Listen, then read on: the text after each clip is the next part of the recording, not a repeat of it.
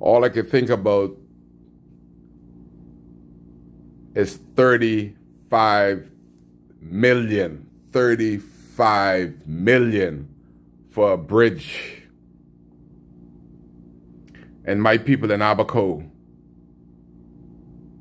is still looking to the sky for help. Still don't have a roof. Many haven't started their foundation two years in. Many of them are still in a moldy, leaky dome.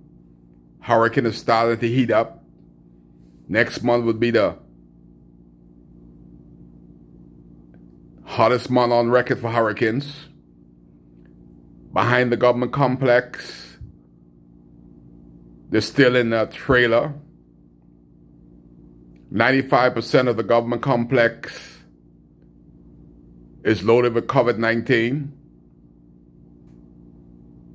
The Defense Force base is shut down with COVID 19.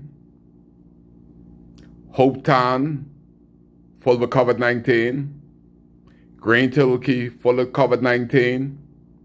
Dundas Town, Murphytown, Marsh Harbour is filled with COVID 19. And all the government could do is spend 35 million to build a bridge when we're trying to build our lives back. The question is, where is our member parliament of North Abaco and South Abaco? We know James has already gone back to America, trying to get his American passport and citizenship back.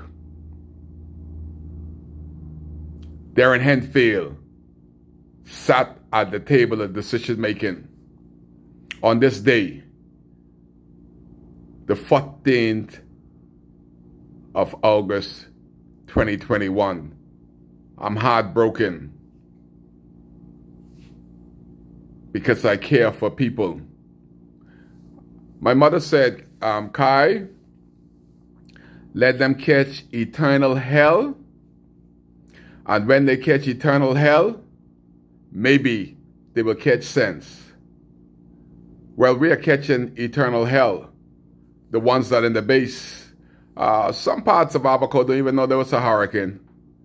All they came into town is to loot, rob, and steal and go back laughing like nothing happened. But there's some people that's still going through the storm. And they didn't have to go through the storm this long. We didn't have to get a $7 million, uh, 30 domes we ask for the material, but we have nobody to sit at the table to speak for us. $35 million is being allocated for a bridge in Eleuthera. Did anybody hear anything for our member parliament? The minister that everybody respects so much? Has he been speaking for anything for Abaco? Have you heard anything?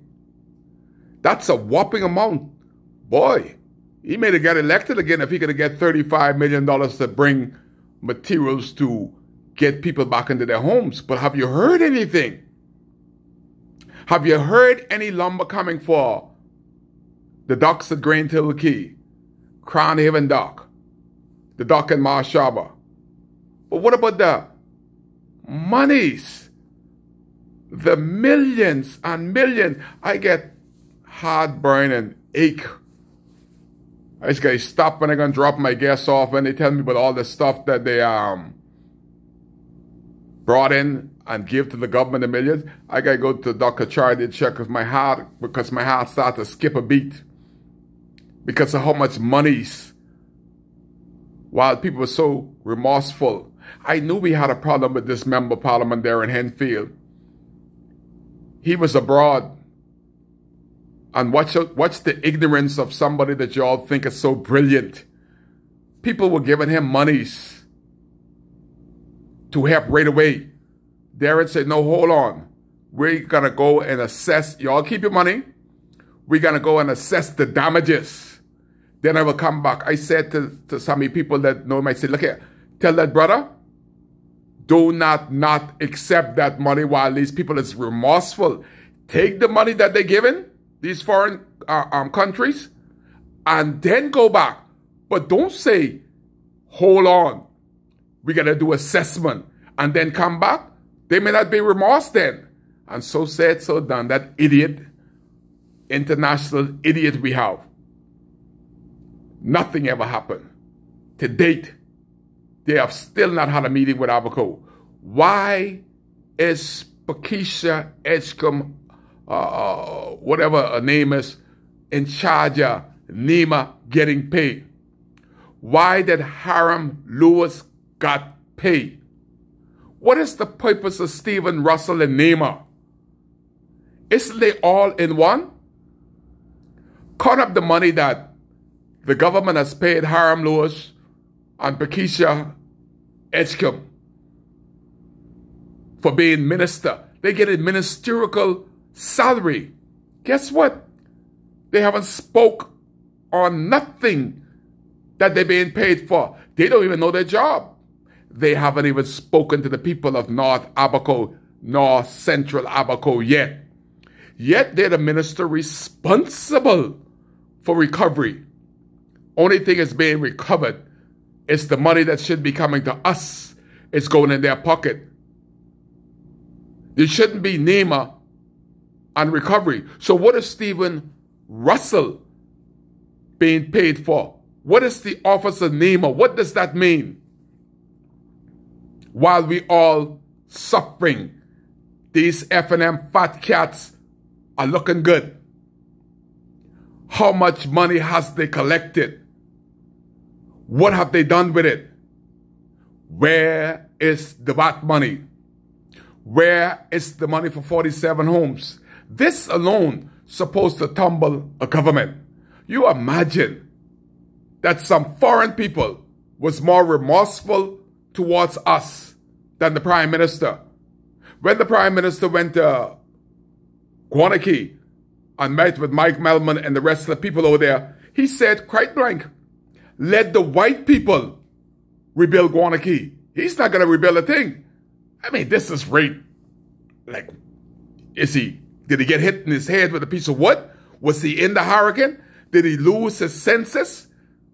You're going to say to international donors, let the white people build your Bahamas? Well, you're not prime minister anymore. This is the idiot that we have as a leader. Y'all don't want to call him that, but I can call it what it is. Then the white people give enough money to rebuild 47 homes from November 2019. Coming up on two years. Now the house has been built.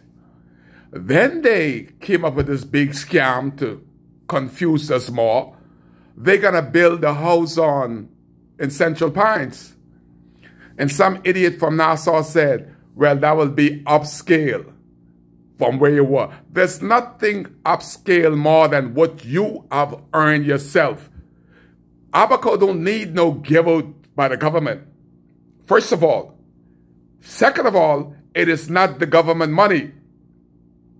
Baker's Bay members said it's to rebuild what you had. It's not for the government to decide where, how, and when to rebuild. So far, coming up on two years, they have not rebuilt one structure. That means 47 homes, 47 families. And if you have five to 10 in a family, look how many people is unnecessarily suffering because of the heartlessness,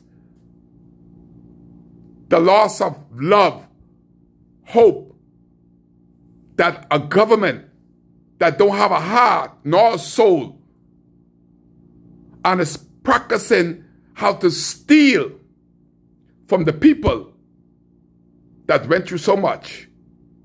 It has to be some stealing in the deal that not one, y'all got to understand. Let, us back up a bit, Kai.